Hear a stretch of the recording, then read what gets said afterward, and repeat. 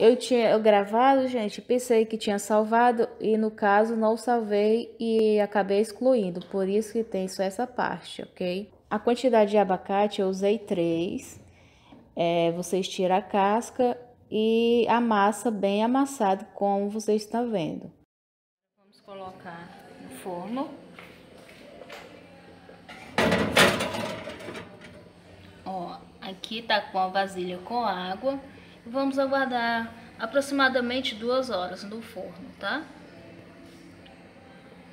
Temperatura 180 graus. Agora esse abacate a gente vai levar no forno, tá? Temperatura é 180 graus. A vasilha com água tá aqui embaixo, tá? E vocês põem a grade do fogão o mais alto possível. Assim, esse é o ponto, tá, gente? Agora a gente vai precisar de um tecido de algodão. Vamos colocar todo. Olha isso. Aqui grudou.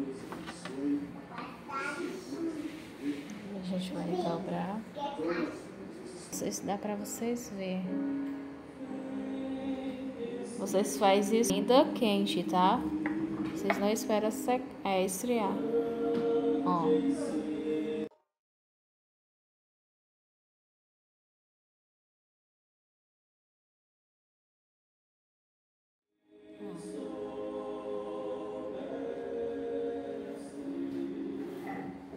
Deixa eu terminar aqui de espremer. Já eu volto.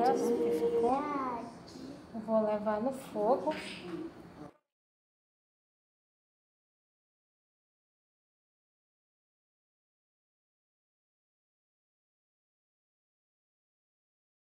Vocês colocam meio litro de água e levam no fogo novamente, espera secar por completo e retira.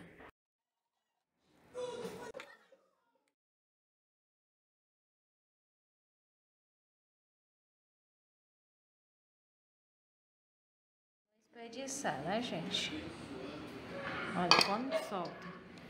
Esse aqui a gente vai levar numa panela e vamos deixar secar essa água e ficar somente com o óleo. Vamos lá?